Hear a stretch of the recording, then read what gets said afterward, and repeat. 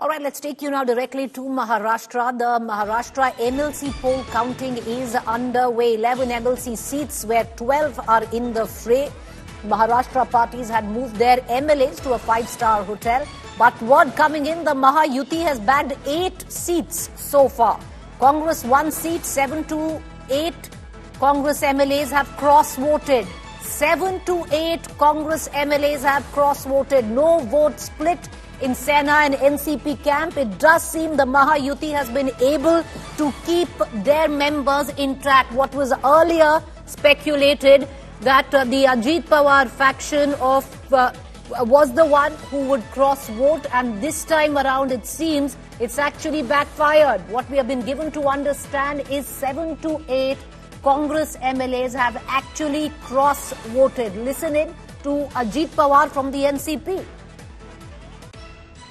हमारे पास total voter थे 42 हमारे कैंडिडेट को वोट मिले 47 47 तो इसीलिए हमें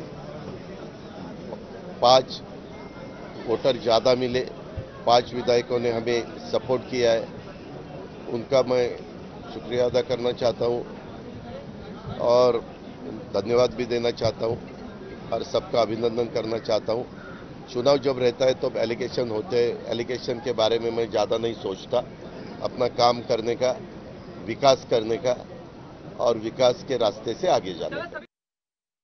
12 candidates were vying for the 11 MLC seats, viewers, and something of a shocker has come across because what was at least speculated was that the cross voting could very well happen in the camp of the man you just heard, but not quite so. It's actually happened in the Congress camp. What we have been given to understand that uh, Congress MLAs have cross voted. Mustafa, my colleague, tracking developments, joining us live. Mustafa, right now, the Mahayuti has bagged eight seats and Congress just one. Well, yes, the, uh, the way these elections were placed when the nominations were filed, that uh, Mahayuti had the strength to win uh, 9 out of 11 seats. Uh, Mahavikas Aghadi fielded three candidates. Uh, they were able to, they were, they had the votes to win two seats comfortably. So uh, now the the situation as it seems that Mahayuti has uh, done well. Only one candidate of the BJP, uh, which is uh, Sadabhau Khot, uh, uh, his votes are being uh, second preference votes are being counted. Uh, but uh, all rest of the Mahayuti candidates, be it do, two Shiv Sena candidates, two Ajit Pawar NCP candidates, or uh, four uh, four out uh, uh, four out of five BJP candidates have won. So nine candidates have won. Two candidates are, are the votes are being counted. The likely candidates who are going to win are Milind Narvekar from Shiv Sena UBT and Khot from BJP. So the uh, peasants and workers parties, Jayant Patil, who was uh, who was supported by uh, Sharad Pawar, somewhere he has not been able to gather uh, the strength or the votes to win these elections. But clearly, this uh, council uh, votes have proved that uh, Mahayuti is still strong. No cross voting has happened in Mahayuti, and they have been able to win uh, almost all the seats um, as per their strength in the Maharashtra Legislative Assembly. Back to you. Mustafa, is there any word coming in that about seven to eight Congress MLAs have cross voted?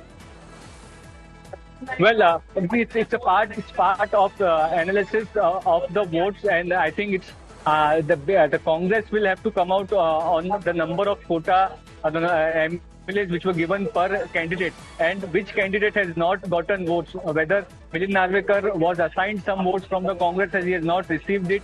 Uh, that is something which will which help will will have to be checked. Jayant Patil was promised some votes from uh, NCP Sharad Pawar. Whether he has gotten all these votes. That is something which will have to be checked, and also whether the candidates have voted, but they have they have voted in a manner that their votes have been uh, uh, deemed uh, invalid. So that has also led to a loss. So these are things which are pa- part of post-poll analysis. Once the results are coming out, the party strategists who had assigned this quota and MLAs will be actually going through it and what to what went wrong. Back to you.